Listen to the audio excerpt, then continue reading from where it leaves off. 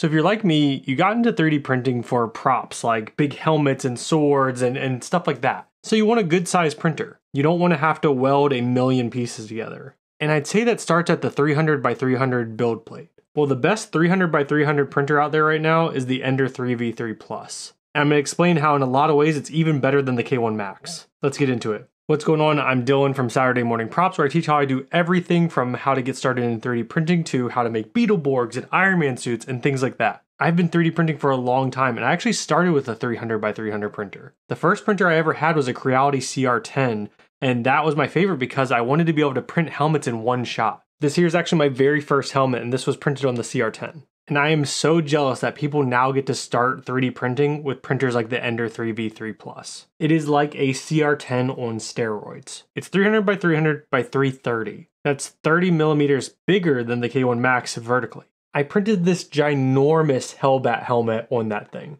My buddy has just under a 25 inch head, which is pretty big.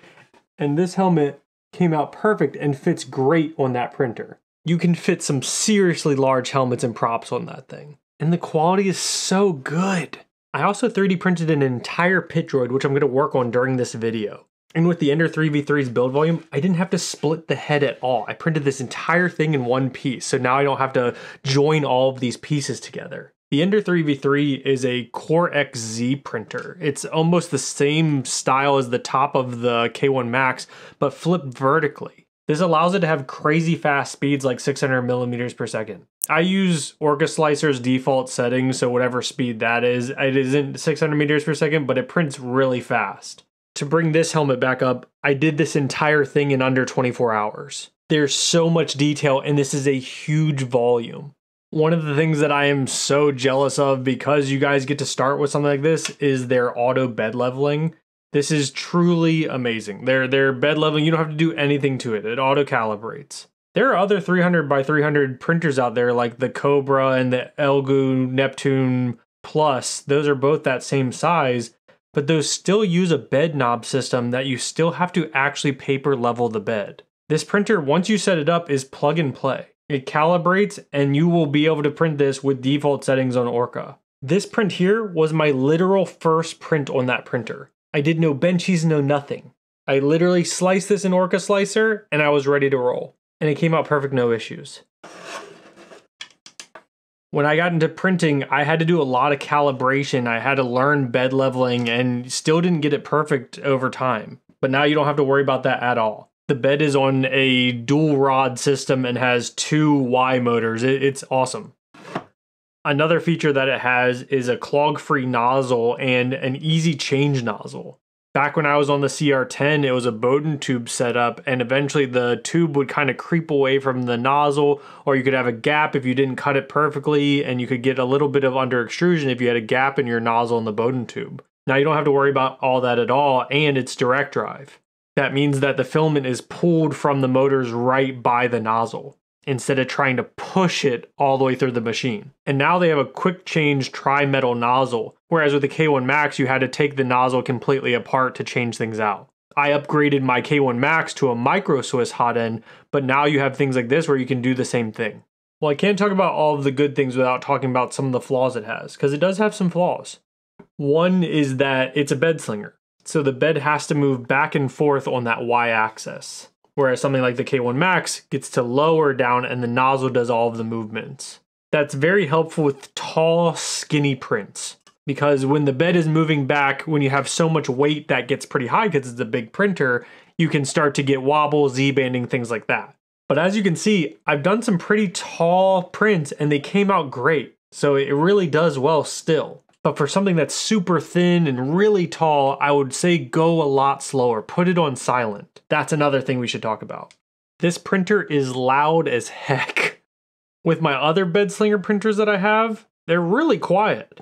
But this one, with all of the speed that it has, is just super, super loud. So if you're buying this, you need to make sure that you have it in a separate room from your living space or from your bedroom, things like that this is a printer that is really loud. There is a silent mode. It's going to decrease your speed a ton, but yeah, just know that that this printer is quite loud. But with the speed of these printers, most are these days. My truly only quiet printers are the ones that are much, much slower.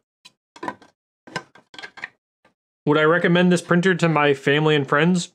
100%. It's a seriously awesome machine, and I, like I said, I'm jealous that people get to start with that now when I started on something like the CR10.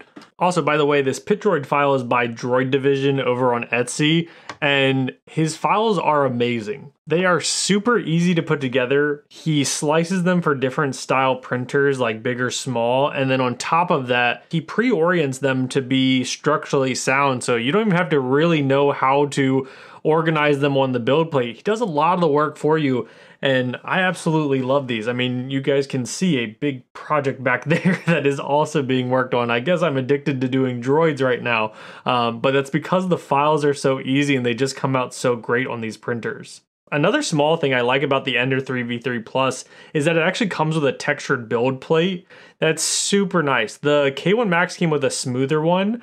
This textured one, man, I really think it holds these prints really well. And another small thing, the way that the build plate lines up, there's two screws in the back of the build plate that allows you to just stick the plate back in there and then it magnetically grabs itself. That is so nice. All printers these days use these magnetic beds, but so many of them have alignment tabs that don't work that well.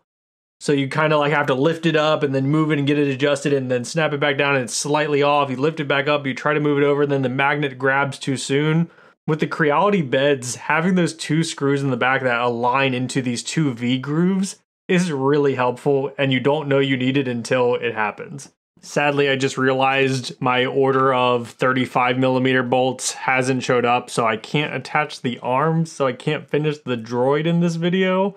But the whole point of the video is how cool the Ender 3 V3 Plus is. And with a little bit of movie magic, I actually did get this done before editing the video. So yeah, this thing is awesome. It's posable. I get to just have it sit up here and do funny things with it. I've got many more droids coming, like I said, as you see the one in the back there.